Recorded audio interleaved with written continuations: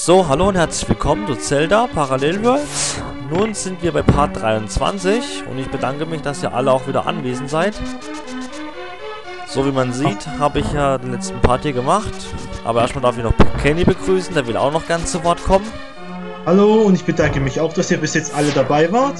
Herzlich willkommen zurück. Hallo Kenny, und wie geht's dir? Sehr gut und dir? Mir geht's auch sehr gut. Ich freue mich immer, wenn ich, wenn ich jemanden da habe, der mich unterhält oder mit dem man sich unterhalten kann oder austauschen kann. Ist immer gut. Finde ich auch.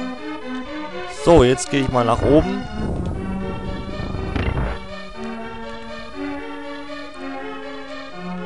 So, in dem Schloss brauchen wir auch ein bisschen Konzentration.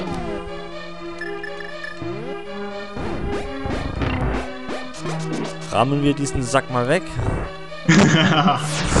diesen Sackbeutel. Diesen alten Sack da. Ja, der Bombenleger da. Also vor diesen Skeletten muss man sich wirklich sehr, sehr gut in Acht nehmen. Die ziehen einen verdammt viel Herze ab. So, wenn man sich einfach wieder voll machen will, einfach hier die Fee holen. So, hier muss man auch sich sehr, sehr gut in Acht geben, weil hier sind diese blöden Augen.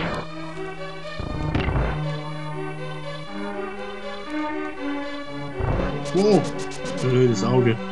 Hau ab! So, dann hier einfach nach oben.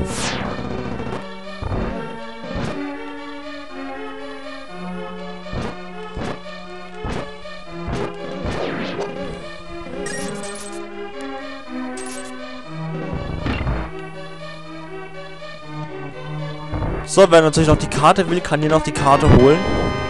Dann habt ihr alles in diesem Tempel. So, jetzt ist Stand natürlich so blöd verschoben. Dann geht ihr einfach einmal wieder hoch und einmal wieder runter. Dann habt ihr es.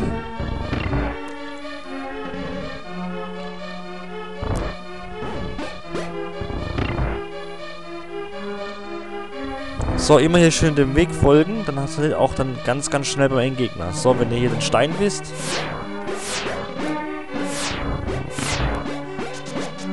damit man keine schnelle Zeit verliert bei den Augen.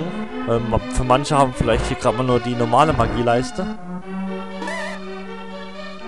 So, dann geht es wieder nach rechts. Hier sind jetzt vier Augen. An jeder Seite sind Augen. So, und hier geht es auch schon zum Endgegner.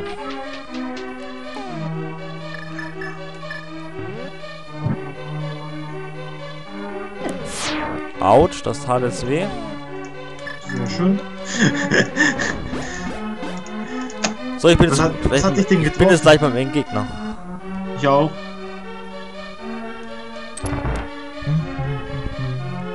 Am besten den blauen Stab vom Endgegner bereithalten und schon bin ich beim Endgegner.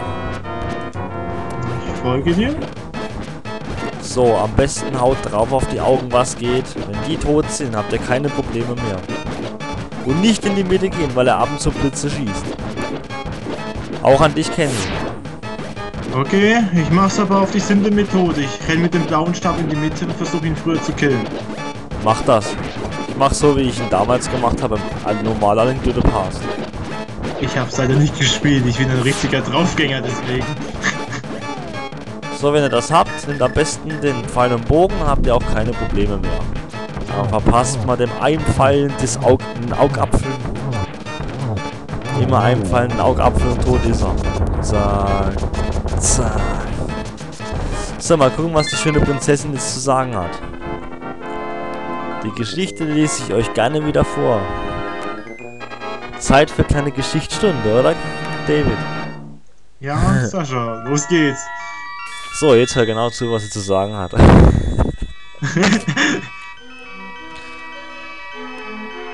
so, laber schon. Ich habe diese Aufzeichnung gemacht, für den Fall, dass ich nicht vom Parallelturm zurückkehre. Ich machte einen Handel. Ein Handel mit dem Teufel. Ja, wie meine Mitstreiter sagen würden. Ein Zauberer bekannt als Ganon wollte mit uns zum Parallelturm kommen. Er sagte, es wäre das Beste, weil die sieben Mädchen in diesem Land der Gierschutz benötigen. Zelda sagte nein, aber ich wollte, dass er uns trotzdem folgt. Er wusste nichts über unsere Geheimnisse. Ich hoffe nur, dass keiner mit, mit Reisenden, mein, Reisenden meinen Betrug bemerkt. Mein Name ist Tamini und ich habe den vierten Hinweis. Ignoriere die vorherige Nachricht. Das ist nicht auf diese Aufzeichnung bezogen. Ende meiner Aufzeichnung. Nachricht wiederholen, bloß nicht. ich hab auch keine Lust, die labert bei mir auch gerade was vor. Okay, das war's nun. Hier machen wir ein bisschen das Speichern Ende und fangen wieder somit von vorne an. So, ich bedanke mich für eure Aufmerksamkeit und bis zum nächsten Pod. Ciao. Ciao.